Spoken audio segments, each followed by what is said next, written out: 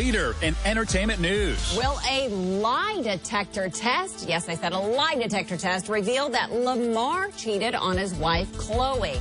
Hi, everybody, and welcome to Entertainment Tonight. Nancy, the heat is on as the reported mistress gets hooked up to a polygraph, and you're going to see it here first. Can't believe all this. Well, has Khloe already made the call to end her marriage? The moment of truth about Lamar's alleged infidelity is Entertainment Tonight's top story. Did you ever go to a game where Khloe was at a game? Yes, I did, here in L.A. I mean, I guess she probably sat in the wife section. Quite opposite, actually. I sat courtside, and she sat three rows back. Lamar's alleged mistress's name is Jennifer Richardson. Her claims she and Lamar had a year long secret affair that included freaky sex, pregnancy scares, a Lamar foot fetish, and even a threesome.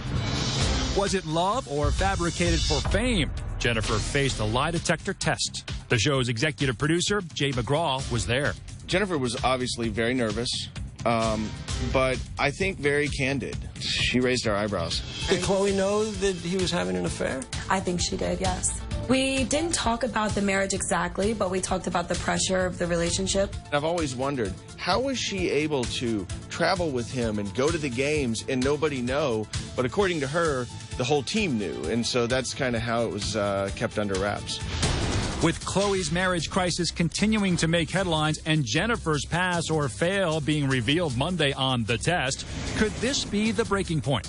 We're hearing today that Khloe has cut off their joint credit cards, they're no longer speaking, and Khloe has given up on any further intervention. Fueling the drug rumors are these photos. Lamar and his driver leaving a pharmacy on Tuesday.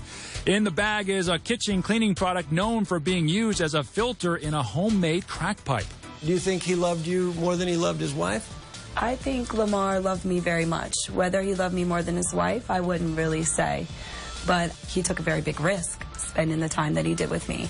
The biggest risk that, if it's true, may lead to divorce. Well, when Lamar was asked by some paparazzi about drugs, he just said, everything's good. Which is a big non answer. suppose, yeah. Well,